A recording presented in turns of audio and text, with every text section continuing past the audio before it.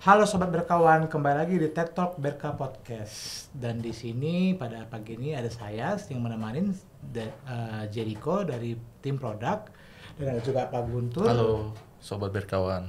Ada juga dari Pak Endro dan Halo. ada dengan eh, Sis Krisan juga yang menemani pada pagi hari ini.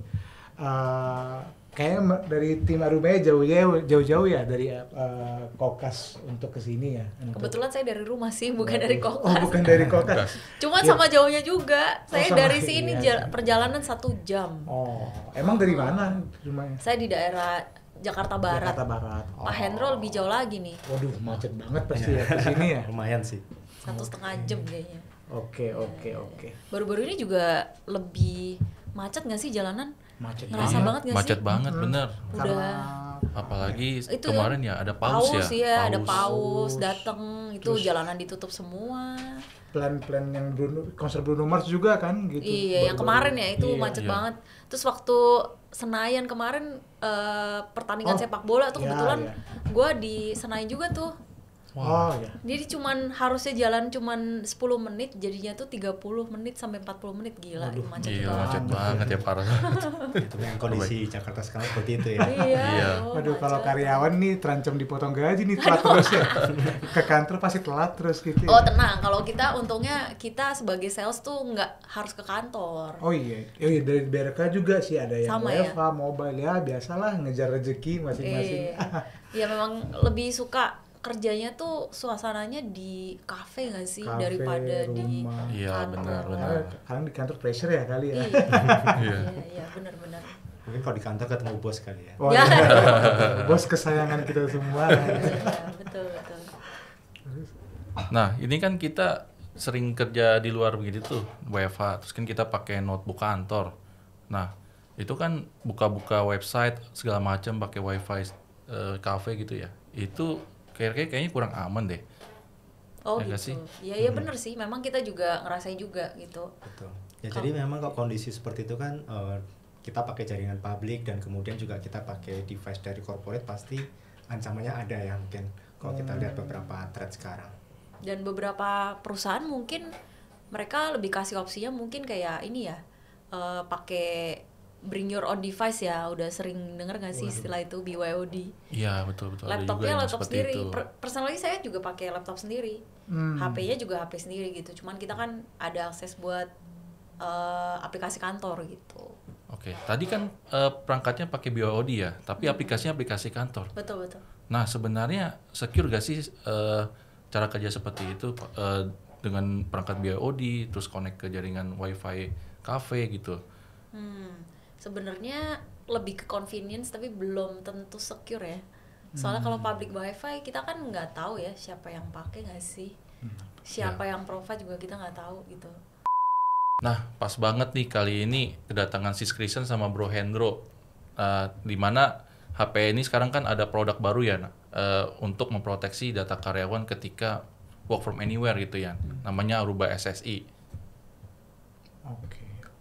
Oh, mungkin kalau dari sahabat berkawan semuanya, eh, mungkin belum common dengan istilah namanya Aruba SSI. Mungkin dari sisi Kristen sendiri bisa menjelaskan terkait Aruba SSI itu apa sih? Gitu. Oke, jadi sebenarnya SSI sendiri itu memang nama produk kita ya, Aruba SSI.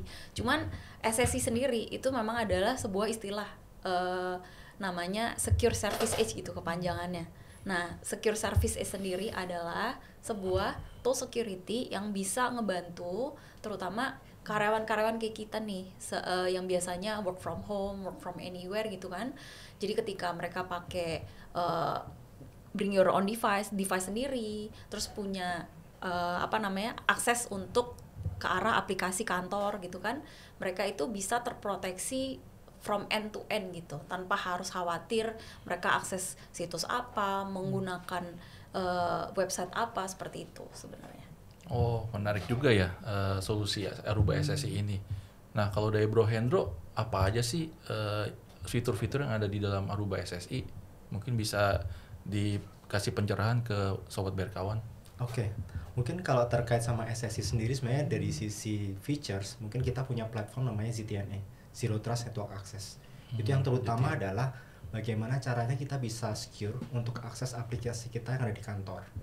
Itu kita bikin semacam uh, secure tunnel ke arah sana tapi kan kita juga tahu bahwa selain kita kerja akses ke arah aplikasi di kantor itu kan juga kita uh, pasti browsing juga Ya, mungkin betul. nonton Netflix dan segala macam nah hal itu kita juga proteksi terutama menghindari supaya kalau seandainya kita akses ke website-website atau link yang uh, mungkin uh, kita nggak tahu berbahaya atau enggak.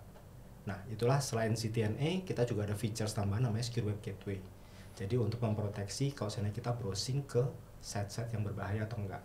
Nah, termasuk di dalamnya kita juga memproteksi dalam artian kalau dari sisi mungkin BRK nih tidak memperbolehkan karyawannya untuk akses website-website yang berbahaya.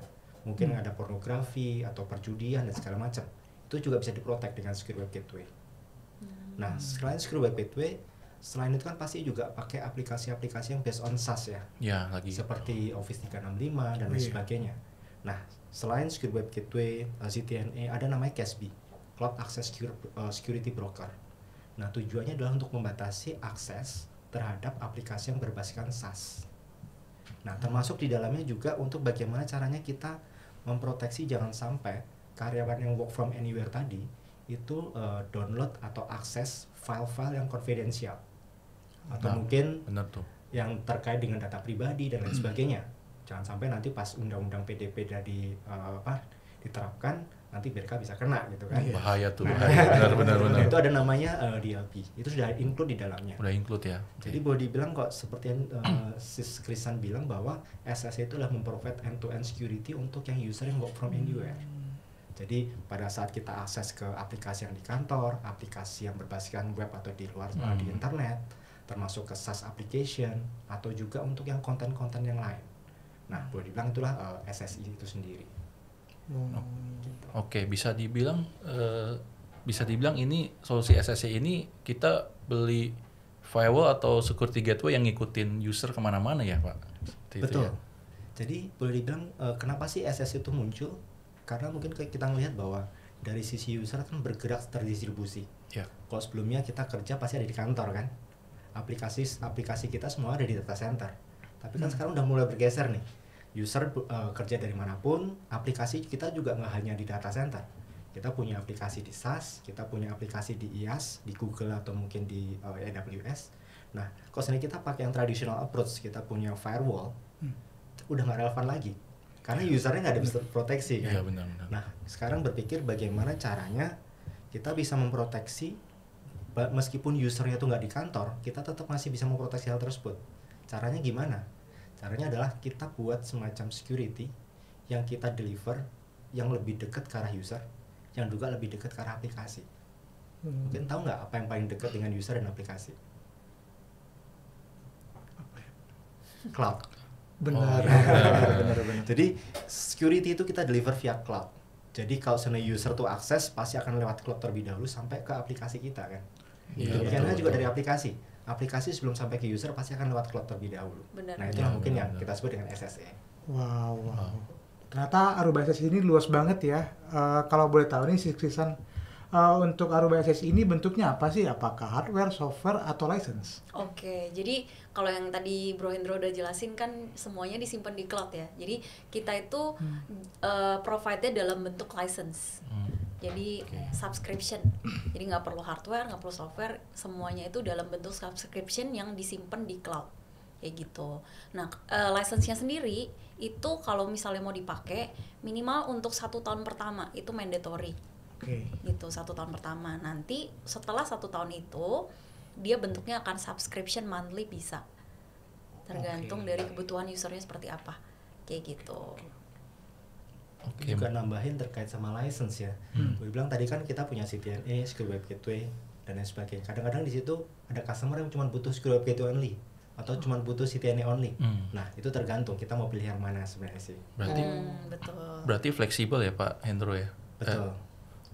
Berarti fiturnya itu kembali-kembali ke requirement dari usernya sendiri berarti Pak ya? Iya benar. Jadi tergantung kita butuhnya apa. Oh, oke. Oke, menarik Pak. Nah, solusi SSI ini kan eh, dari Aruba sebenarnya kalau dilihat di market ada pesaing-pesaingnya nih. Ya. Bisa diceritakan nggak Pak apa yang jadi kelebihan dari Aruba SSI? Hmm, Oke, mungkin boleh dibilang kalau Aruba SS itu mungkin kita eh, newcomer, belum mungkin ada pemain-pemain yang semuanya sudah mereka adalah uh, pioneer di situ. Kita bukan pioneer. Nah, apa sih yang membedakan kita dengan yang lain? Yang pertama kita tuh fokus dalam unified. Unified itu artinya kita punya satu platform yang sama untuk menjalankan fungsi-fungsi tadi. Hmm. CTNA, Secure Web Gateway, CASB dalam satu platform yang sama. Tujuannya adalah kita akan punya policy yang policy untuk semua uh, features tadi dalam satu dashboard yang sama. Tujuannya adalah supaya kita nggak perlu pindah-pindah dashboard, kita nggak perlu, perlu punya expertise yang spesifik untuk menjalankan ke semua fungsi tadi masing-masing, Hmm. tapi dalam satu fungsi yang sama. Dan juga dari sisi uh, tim IT, mereka juga hanya monitoring dalam satu dashboard yang sama. Jadi kita punya single policy untuk semua user. Dan itu kita bisa terapkan spesifik untuk masing-masing user tadi juga. Nah, itu yang pertama terkait kita fokus ke unified. Kemudian ke kedua adalah kita tuh punya kita punya point of presence yang kita sebar di hyperscaler seperti AWS, Google dan lain sebagainya. Tujuan kita adalah kita punya solusi karena kita deliver semua solusi kita via cloud. Tujuannya adalah untuk lebih dekat ke arah user dan lebih dekat ke arah aplikasi. Jadi kenapa kita punya sekitar 500 lebih point of presence termasuk salah satunya ada di Indonesia. Wah menarik banget ada di Nah di Indonesia. situ uh, tujuan kita punya hype di hyperscaler adalah supaya pertama uh, quality of experience. Jadi user experience-nya lebih bagus, nggak kena apa namanya nggak ada lambat dan segala macam. Yang kedua adalah mungkin ada beberapa customer yang mereka ada terregulasi ya, mungkin seperti bank dan segala macam. Mereka Iya. nggak boleh ada datanya dikirim keluar. Nah ini kan kita semua ada di Indonesia sih, jadi minimal kita sudah comply terhadap regulasi yang ada di Indonesia. Terus kemudian juga yang yang ketiga adalah kita punya uh, solusi yang agent dan agentless. Hmm. Nah, yang agent mungkin itu lebih spesifik untuk yang user employee, yang di mana device-nya di manage oleh corporate. Jadi corporate punya hak untuk install di device kita kan. Hmm, iya benar. Nah, sedangkan kalau misalnya BYOD atau mungkin uh, kita punya user kontraktor atau supplier, kita kan nggak boleh memaksakan untuk install sesuatu di situ. Hmm. Iya. Tapi kita butuh mereka untuk akses aplikasi kita yang ada di kantor. Nah, gimana cara kita mengamankan hal tersebut? Nah, salah satunya adalah menggunakan yang agentless. Jadi mereka tetap bisa secure mengakses aplikasi kita, doing business dengan kita, tetapi dari sisi keamanannya kita bisa jamin. Oh, bisa. Itu sih mungkin uh, sedikit uh, overview tentang apa sih membedakan kita dengan vendor-vendor yang lain. Kalau agentless itu bentuknya kayak gimana Pak cara aksesnya?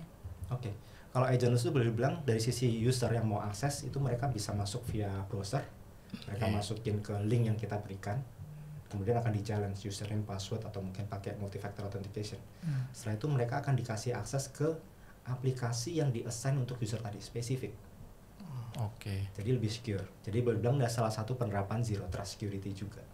Berarti bisa dibilang ini eh, tadi ZTNA ya, berarti bisa Betul. dibilang eh, VPN yang lebih advance ya Pak, bisa dibilang seperti itu ya. Iya benar. Mungkin ya. Ini boleh dibilang CTN ini adalah salah satu uh, solusi untuk menggantikan uh, solusi VPN. Hmm. Kalau VPN kan sudah teknologi yang sudah 30 tahun yang lalu ya, Iya. yang mungkin nggak di develop dengan kondisi sekarang, di mana kita punya aplikasi yang tersebar, usernya juga uh, terdistribusi. Nah, itulah mungkin salah satu uh, solusi untuk menggantikan uh, VPN itu ZTNA. Oke. Dari berbagai macam penjelasan Pak Hendro sebelumnya, saya sih beranggapan kalau itu uh, Haruba SS ini adalah one size fits all. Mungkin dari Sis Krisan bisa menjelaskan paketannya ada apa aja sih?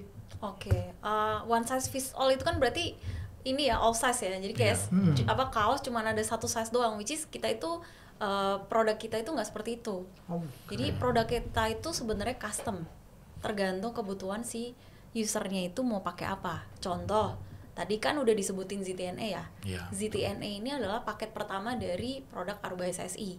Jadi ini cocok banget buat uh, company atau perusahaan-perusahaan yang pengen ngegantiin VPN yang teknologi udah 30 tahun lamanya gitu kan. Udah harusnya udah obsolete, udah digantiin teknologi baru, which is ZTNA ini. Nah, kalau misalnya customer pengen naik level of security-nya lagi nih, pengen lebih terproteksi lagi, dia bisa ambil paket yang ketiga, which is dia itu isinya ada ZTNA, Secure Web Gateway, sama CASB atau Cloud Access Security Broker. Dan di paket ketiga ini itu udah termasuk salah satu fiturnya Aruba SSI yang namanya DEM atau Digital Experience Monitoring. Ya gitu yang tadi mungkin udah sempat dijelasin Pak Hendro juga. Kemudian di level of security yang paling bagus, yang paling uh, premium dari Aruba SSI itu ada di paket keempat.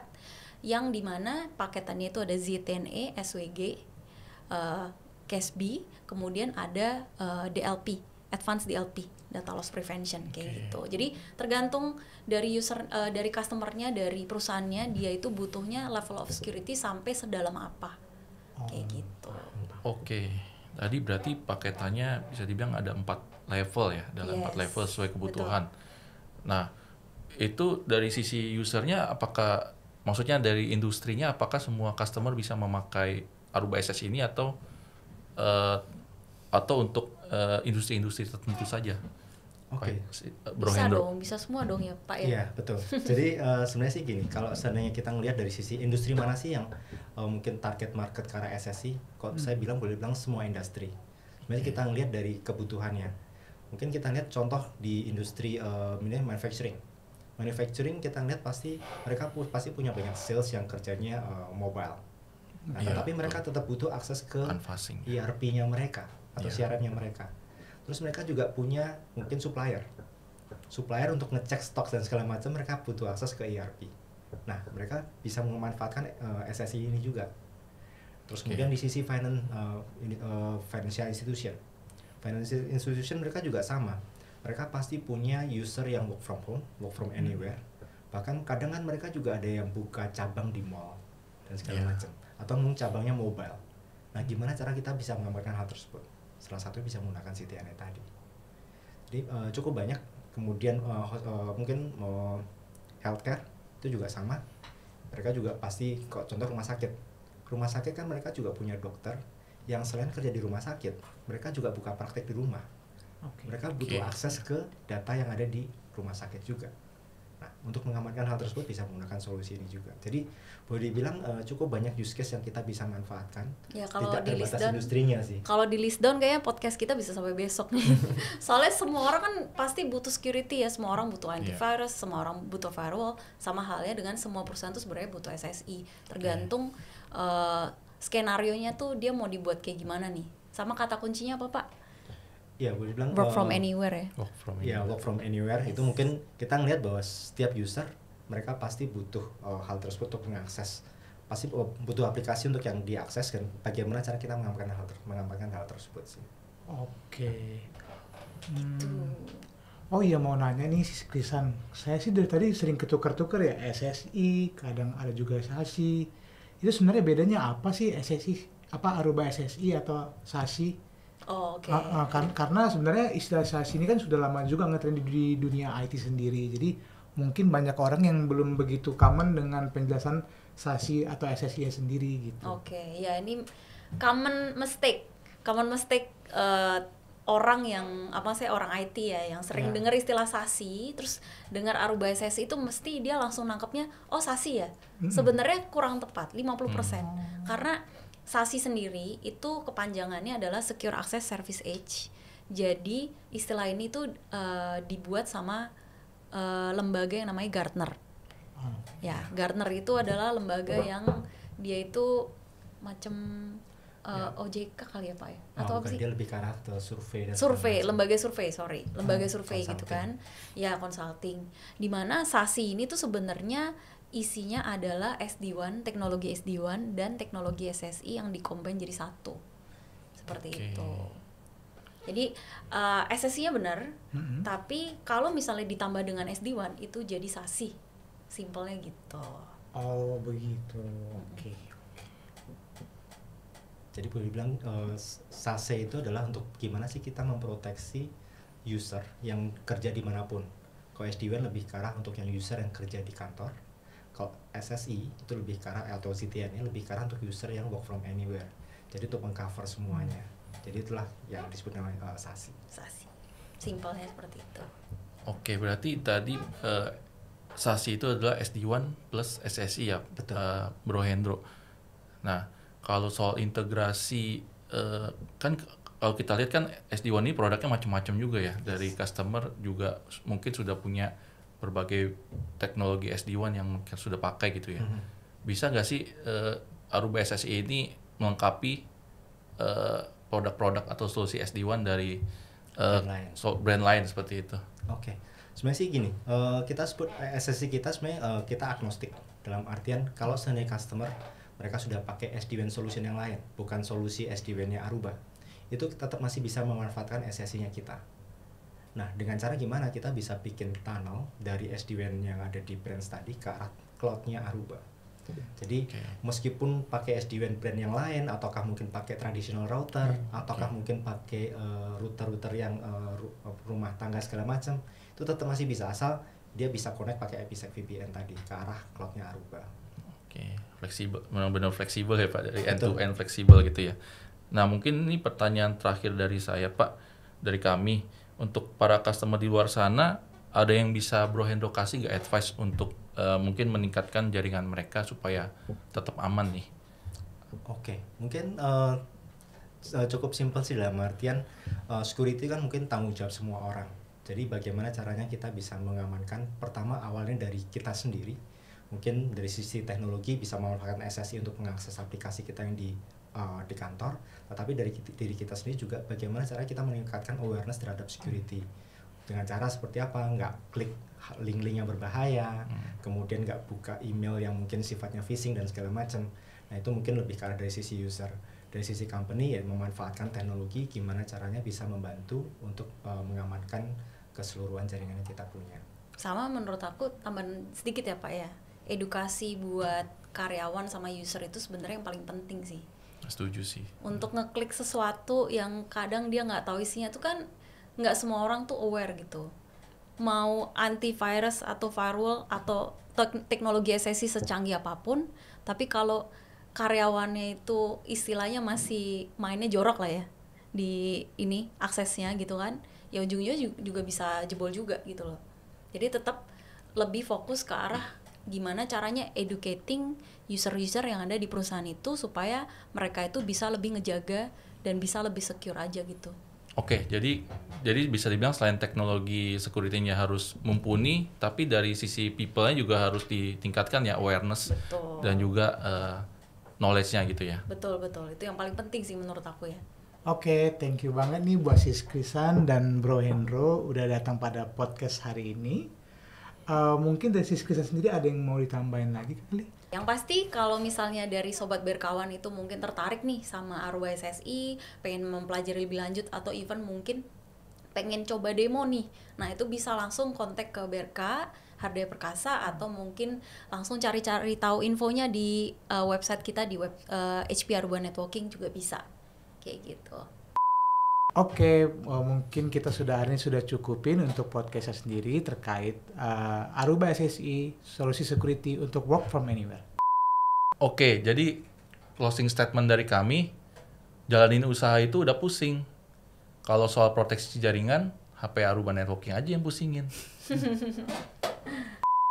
Oke, thank you banget nih buat sobat berkawan yang sudah menonton podcast kita kali ini. Jangan lupa like, follow, and subscribe eh, channel YouTube ini. Dan sampai jumpa di kesempatan kita selanjutnya. Dadah. Bye bye.